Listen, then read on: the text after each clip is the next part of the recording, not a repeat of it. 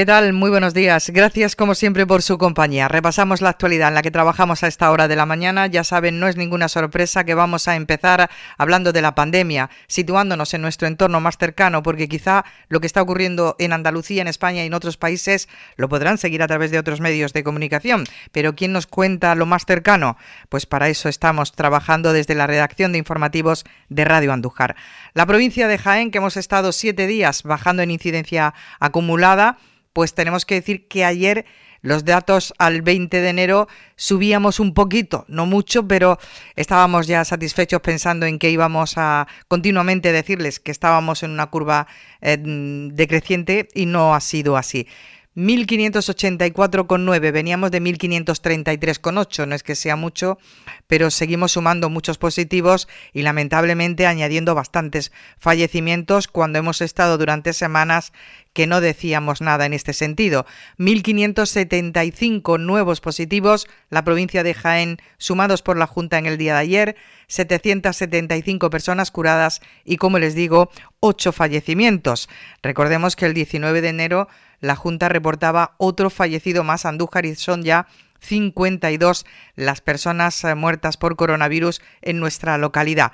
55 positivos más añadía Andújar en el día de ayer junto a 28 personas curadas.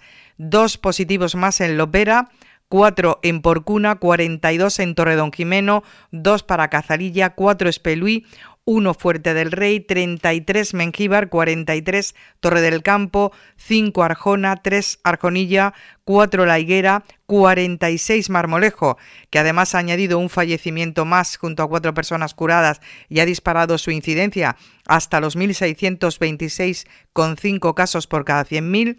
Cuatro positivos más ha añadido Villanueva de la Reina, 151 Linares, 339 Jaén, que además ha sumado tres fallecimientos y 39 positivos más en Martos, que sube su incidencia junto a Jaén, Linares, como les decía, Marmolejo, también sube en La Higuera, en Torre del Campo, en Mengíbar, en Cazalilla y en Torredón Jimeno. En el caso de nuestra ciudad ha bajado hasta 860,3, veníamos de 966.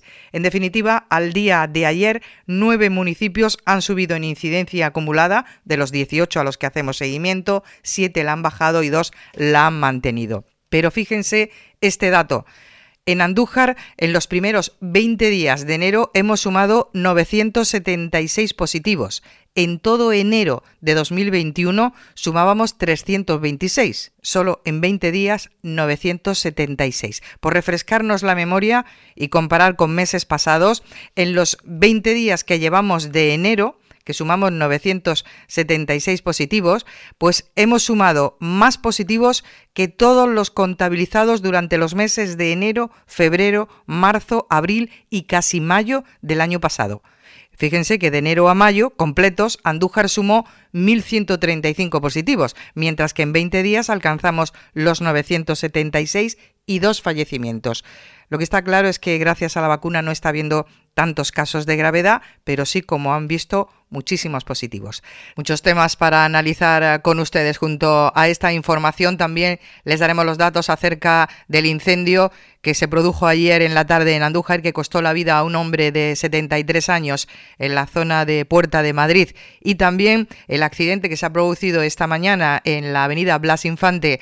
Afortunadamente, con daños personales no ha habido fallecimientos, aunque en una primera instancia hubo quien en llamada a Radio Andújar insistía en que algo más grave había ocurrido, un atropello en lo que sí que ha habido una persona herida, pero que afortunadamente eh, se ha quedado ahí. No ha habido muerte como, insistimos, alguna persona podría habernos apuntado tenemos que cambiar de tema para hablar de la Feria Internacional del Turismo, que sigue acaparando también la atención en Madrid y en donde hay muchas esperanzas puestas en que la provincia de Jaén consiga cerrar muchos tratos, por decirlo de alguna manera, para atraer turismo a, a, la provincia de Jaén y que el turismo de interior que representamos tenga el lugar que le corresponde.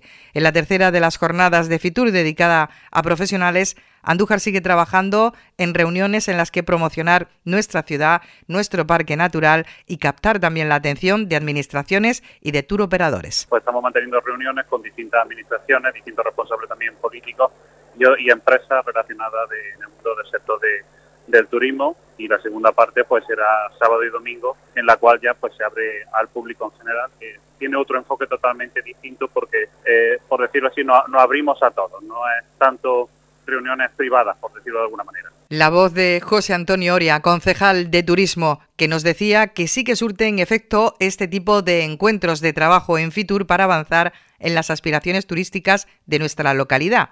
Y puso como ejemplo logros del año pasado. Bueno, pues eh, algunos de los proyectos que se, que se presentaron, incluso que hemos recibido una subvención, como la digitalización de la oficina de turismo, por poner, por poner un ejemplo, surge eh, precisamente de reuniones que, se hicieron aquí en Fitur 2020, 2021, perdón. Es decir, que, sí que, surte efecto. Y no solo con eso, sino también porque me consta que algún, algún empresario del sector eh, nos hacía llegar de que Andújar la habían conocido a través de conversaciones que se habían tenido aquí, aquí en Fitur. Que no hemos dejado terminar al concejal. Hablaremos también de las candelas que se van a celebrar por fin el sábado día 5 de febrero en barrios y en pedanías. La concejala Rosa Reche ha presentado los detalles y recordaba que se trataba de instalar hogueras, aquí lo hemos llamado siempre candelas, en torno a las que se disfrutan de una jornada de convivencia. Eh, este año eh, lo que traemos hoy precisamente es la presentación de la fiesta de las Candelarias. Eh, la fiesta de las Candelarias, como todo el mundo sabe, es una tradición religiosa en la que a partir del en el siglo XVII pues simbolizó la quema de lo impuro, de lo viejo y lo malo. Y yo creo que este año tenemos muchas cosas malas que quemar. Sí que hay mucha negatividad que echar a la hoguera. Luego le vamos a contar los detalles. Hay hasta el 28 de enero pues para presentar la solicitud. Y repasaremos otro tipo de noticias como las deportivas. Tras la jornada de descanso del pasado fin de semana, el Liturgia afronta un nuevo encuentro en División de Honor con novedades en su plantilla, por cierto, ya que se ha reforzado con el fichaje del andujareño Jorge Sanabria, que hasta hace tan solo unas semanas era jugador del Porcuna. En la jornada 18, los azulgrana juegan fuera de casa. Lo hace el domingo frente al Cubillas de Albolote, un partido que se empezará a jugar, por cierto, con la puesta de sol y dejará lo más gordo del encuentro para jugarse ya de noche. Junto a Bejíjar La Cañada son los partidos en horario más tardíos en jugarse este fin de semana. La mayoría se juegan todos por la mañana, algunos a las 5 de la tarde, este al que nos referimos a las 6. El Liturgi decimoquinto en la tabla clasificatoria en línea de descenso se mide al, el domingo pues al noveno concretamente en la clasificación.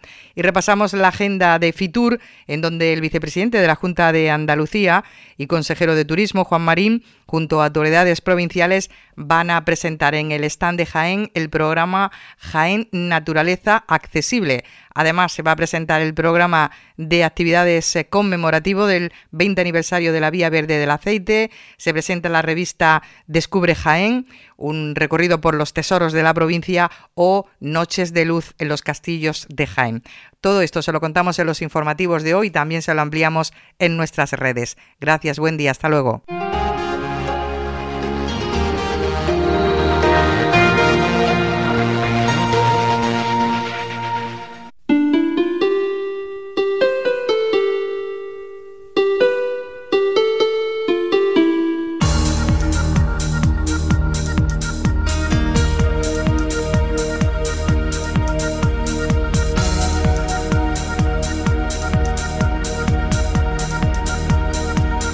Radio Andújar, profesionales al servicio de la información.